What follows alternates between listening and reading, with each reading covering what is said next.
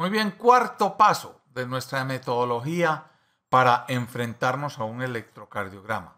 Ese cuarto paso es el video número 27 y va a tener que ver con lo que es la conducción AB, es decir, el PR. ¿Y cómo es la cosa con el PR? Pues nosotros ya lo sabemos medir, va desde el comienzo de la onda P hasta el comienzo del QRS, incluye todo lo que es eh, la despolarización auricular y el intervalo de conducción en el nodo AB. Pues muy bien, este PR tiene una duración normal de 120 a máximo a máximo 200 milisegundos. Muy bien, se acabó el video del PR.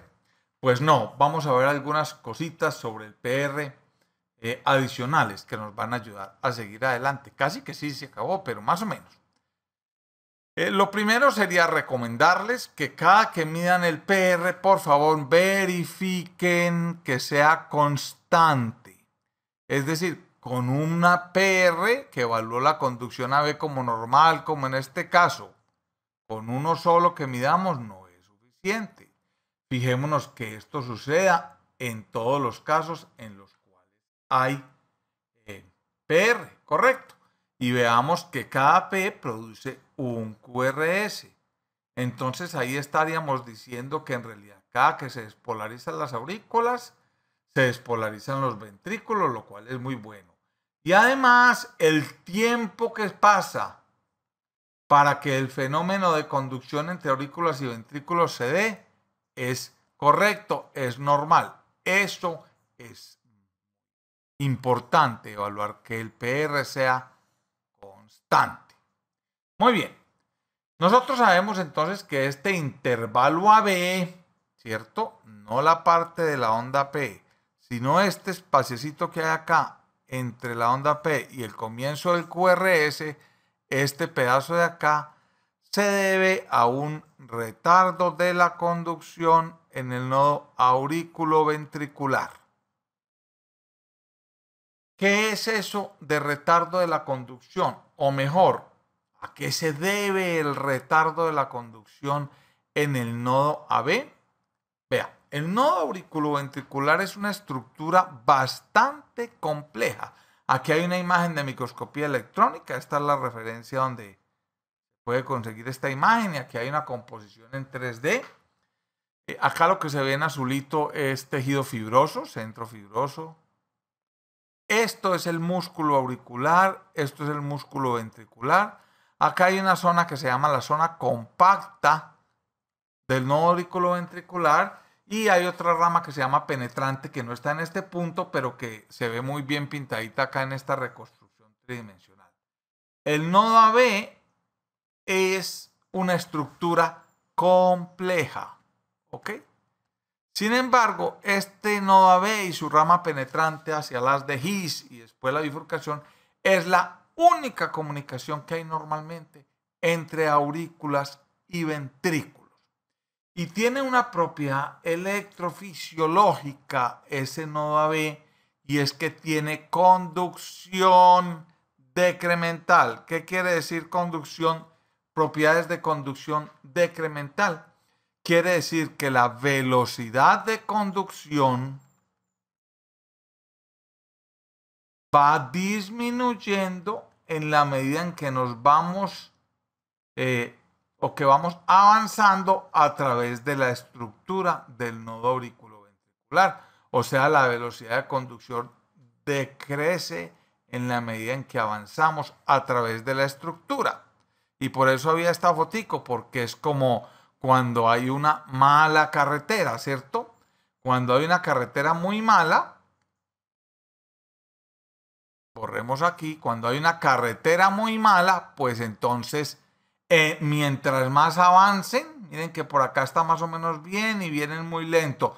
Y cada vez la conducción va a ser más lenta en la medida que se avanza, la conducción se va volviendo cada vez más lenta. Eso es tener conducción decremental. Miremos ahora otra cosita bien interesante. Y es que vamos a introducir, porque ya nos acabó el video, el concepto de lo que nosotros llamamos diagrama en escalera, que nos sirve para estudiar la conducción AB, sobre todo cuando no esté muy bien y va a haber videos sobre los bloqueos AB. Pero el diagrama en escalera es este dibujito acá, no necesita la cuadrícula de fondo, nosotros la ponemos para que nos ayude a hacer los dibujos, en la cual uno representa, teniendo el trazo electrocardiográfico aquí arriba, representa el tiempo de conducción de la aurícula, el tiempo de conducción dentro del nodo AB y el tiempo de conducción ventricular. Miren tan interesante como uno tendría, si marca aquí el inicio, pues esto es el final de la onda P, acá está la conducción auricular. Y de acá hasta este puntico, que es este puntico, entonces es el nodo AB. Miren cómo conduce rápido, aquí pondría uno la flechita. Y hasta el final del QRS viene esto que es el ventrículo, correcto, la conducción ventricular. Entonces uno dibujaría una flechita hacia abajo, formando la escalera de la conducción desde las aurículas hasta los ventrículos. Acá, milagrosamente, lo tenemos hecho con flechitas que no son a mano alzada y fíjense cómo se repite todas las veces. Esto acá representa la onda eh, en la conducción auricular, o sea, la onda P.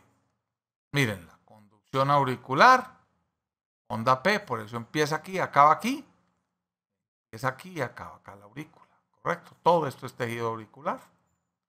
Luego viene este pasito pequeñito que va desde acá hasta acá, que corresponde acá al nodo AB, que lo podemos ver muy bien.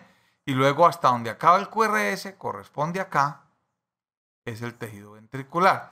Y podemos ver que esto se repite muy bien para cada ciclo cardíaco, lo cual es normal. Miren cómo la conducción auriculoventricular es normal. Borré todos los rayones para que veamos que la conducción auriculoventricular es la misma todas las veces, lo cual es bueno. La pendiente de esta flechita nos ayuda a visualizar en forma gráfica eso de que el PR es constante y la conducción auriculoventricular fue normal. ¿Para qué hicimos ese diagrama en escalera? Para poder ilustrar algún ejemplito por ahora. Por ejemplo, miremos aquí cómo la conducción Dentro de las aurículas es normal, la onda P tiene una duración normal y se ve muy bien acá. Pero el PR se encuentra muy prolongado y se encuentra muy prolongado debido a prolongación dentro del nodo AB. No es la onda P la responsable, sino que es todo este segmento que hay acá el que se encuentra prolongado. Por eso esta flechita, en vez de venir como debería normalmente, así en este sentido y acabar aquí, porque la conducción AB debe haber acabado aquí, acostó un poquitico mostrándonos el diagrama en escalera de un bloqueo AB de primer grado. Y miremos esto aquí para que terminemos nuestro video del PR. Qué interesante. P, QRE, P, ¿cierto? Despolarización auricular, conducción auriculoventricular un poquitico prolongada, ¿cierto? Y luego conducción ventricular de velocidad normal. Ahora miren lo que pasa en el segundo complejo. Si lo pueden percibir, la pendiente de esta flechita de la conducción AB es cada vez más tendidita porque el PR se va prolongando, es muy poquito, muy sutil, pero si se alejan y le ponen fe, se prolongó un poquitico esta conducción AB, acá se prolongó un poquitico más, acá se prolongó aún más, acá es más tendidita la flecha todavía, pero miren lo interesante que sucede es aquí se empieza a despolarizar la aurícula, efectivamente se despolariza la aurícula, hay onda P, miren acá está pintadita, correcto, pero ¿qué pasó con la conducción AB? Pues yo lo único que sé es que QRS no hay, por lo tanto yo puedo concluir que este impulso en alguna parte del nodo AB del tejido auriculoventricular se bloqueó porque aquí jamás apareció un QRS. Este diagrama en escalera nos está ilustrando la conducción AB. Aquí vuelve a aparecer onda P, por supuesto aquí está la aurícula, el nodo AB conduce bien, un poquitico lento, el PR un poquito prolongado, pero conduce y se produce el último. Esto es todo sobre la conducción AB, ya vamos a tener eh, videos acerca de los bloqueos, auriculoventriculares, pero lo importante es que era el cuarto punto de nuestra metodología de enfrentarnos a un electrocardiograma. Mirar que el PR esté en 120 y 200 milisegundos entre esos dos valores. Más cortico tampoco es normal. Hay síndromes de conducción acelerada por el nodo AB, eso no es normal, pero es muy raro. Entonces que esté entre 120 y 200 milisegundos y que sea constante esa conducción auriculoventricular, no como en este ejemplo, ¿correcto? Así nos vamos a ir enfrentando a un electrocardiograma paso por paso.